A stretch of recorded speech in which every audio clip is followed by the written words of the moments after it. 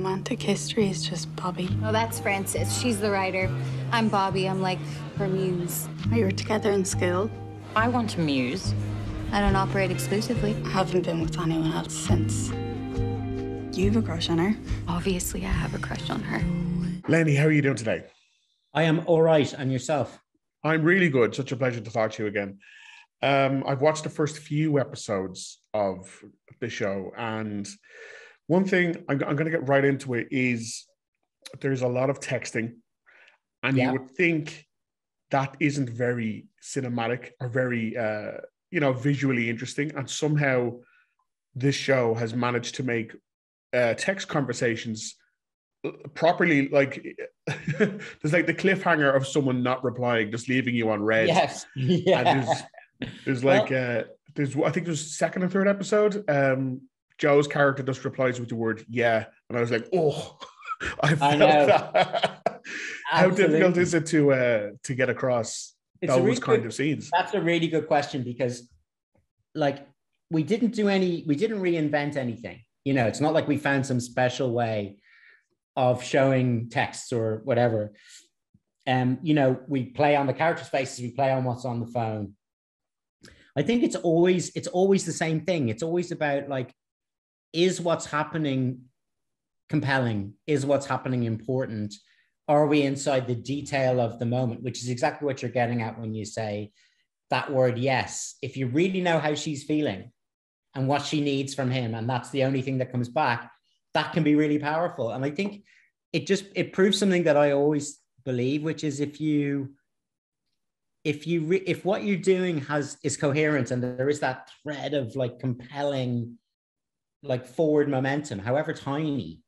There's no such thing as like an inherently undramatic moment. You know if you're inside it and it's significant then you can show that's a difference. So with the text message i think what we try to do is just interrogate each time we're doing it so that it isn't just a lazy way of getting information over. And, and, and the bottom line is we all have to deal with it now as storytellers because like that is so much of our lives is is on mm. Text based on various apps or like so a few times we have it'll happen later in the show you'll have like voice messages because i would like i'm so old that uh i think it was the first person ever sent me a voice message like that was paul mescal and i Right. thought oh is, he must have recorded something by mistake or you know and then i realized no this is what the young people do they, Yeah. they say things to each other and then send the message and so we did a little bit of that. And then we do some of the sequences in the novel which take place on email or on text, we have transposed into the real world. So we try to do, you know, those text moments when they're significant, when when the reaction of the person who receives the text or sends it is is somehow, I don't know, meaningful.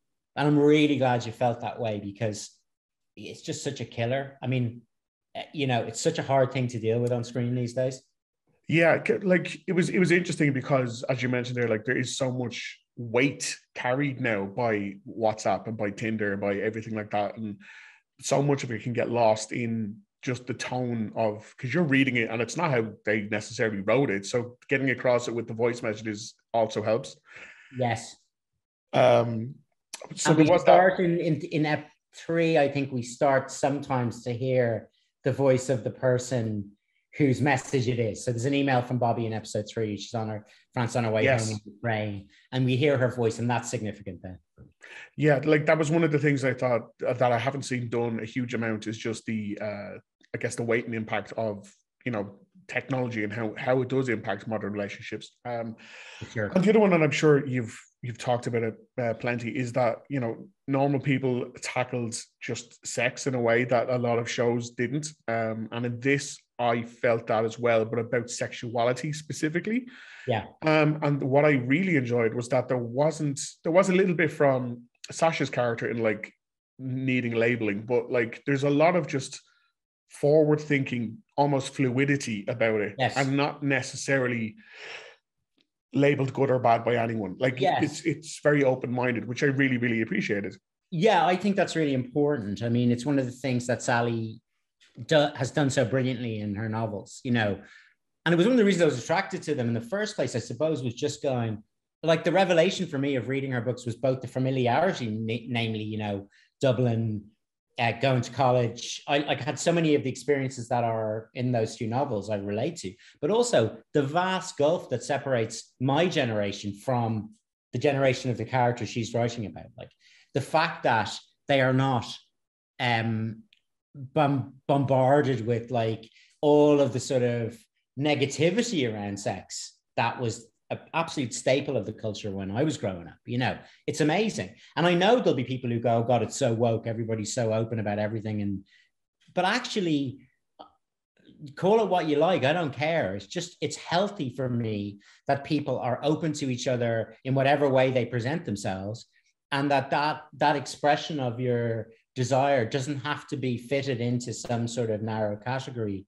So I agree with you. And I think as the show goes on and you watch more of it, you'll see that that that idea of just honesty and love and compassion are the things that actually matter. The rest of it is all just, um, you know, as you say, there are a lot of labels floating around, but they're not that useful. Mm. Um, one of the things, uh, and I think we'll go down in history, is uh, how fantastically well cast Normal People was between uh, Paul and Daisy. Um, for this, was there was there a particular character who you're like that's going to be tough to cast, or even was there a particular moment when you're like, I've got my four, I know exactly who I've got? Yeah, I mean, actually, from the outset, before we started casting, Frances was the one we were going, oh, like, you know, she's a character that resists, like she res- she holds herself back from situations, so she's she can recede. She's a sort of person. I think we described it in the book, in the actually in the show, as like a person whose quietness is very loud. You know what I mean? The person who doesn't mm. say much but really can dominate a room while not saying much. And France, like to do that as an actor is really hard.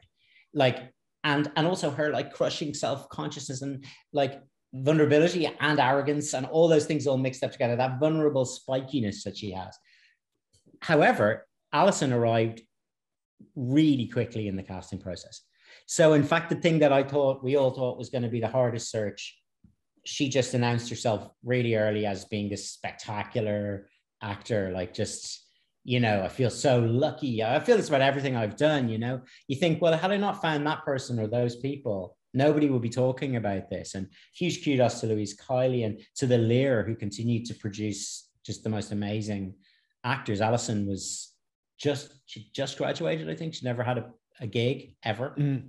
Um, this is her first job. But then once we had Alison, it was then then we then it was like a long road to find the exact right combination of four people because it's really like Bobby is a really hard person to cast if you think but she's got this like she's described as having this kind of massive presence. And yet you know that's just from Frances's point of view. There's a whole other side to her that we have to feel. And I think Sasha Lane has just got this just such honesty in her as a character you know? Uh, she's she's much more kind of grounded than Francis, even though she's the flamboyant one in mm. a way.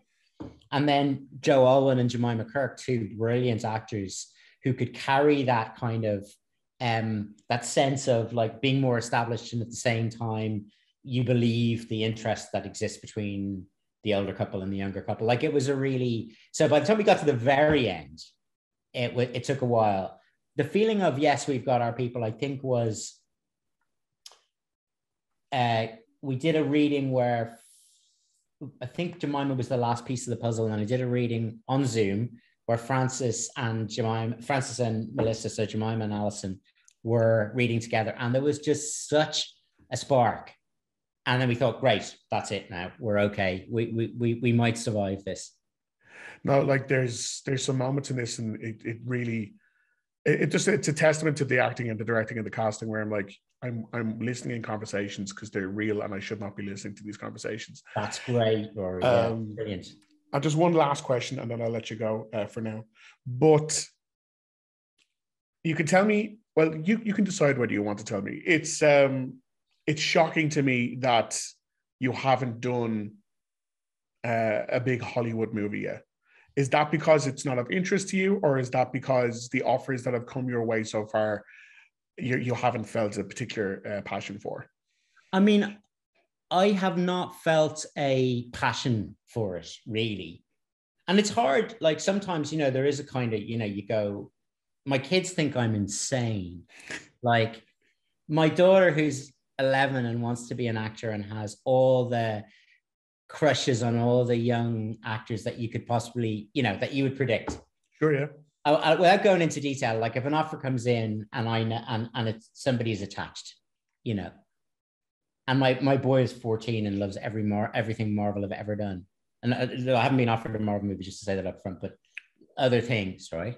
Mm-hmm. And the kids are going, but but, but you have to do it. Of course, you're going to do it. You, you insane? Are you mad, Dad? Are you mad? And my thing is just I have to be like I have to be really into it to do a good job. I mean, you know, and I would never say never, but but I also feel like the world at the moment is like the world generally is such a phenomenally interesting place. Mm. But most of and, and it's also a place with massive, terrible things going on.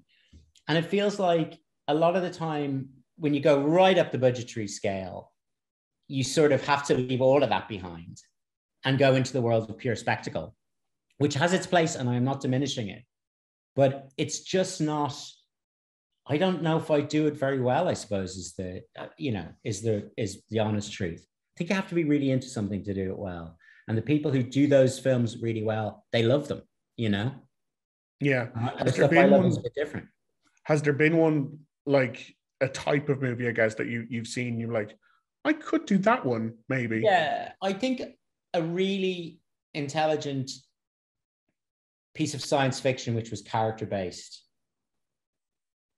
you know is something that i can imagine doing which which, which might have the sort of scale to allow you to reach a bigger audience but mm. into which you could put some real thinking and real people so so that's the kind of like there's a there's a sort of small interlocking inter bit of the venn diagram that like that would be a, a, a possibility i think and and so maybe maybe I will. I, I started realizing, you know, life isn't, uh, you know, get we all get older, and um, I always, you know, up until now, I'd go, oh, something like that might happen in the future. The future starts looking a lot more, you know, you can see how long the future is at a certain point. So who knows? But but I'll I'll see.